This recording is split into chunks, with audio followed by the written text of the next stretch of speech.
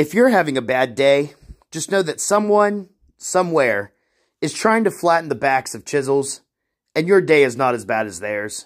So just smile.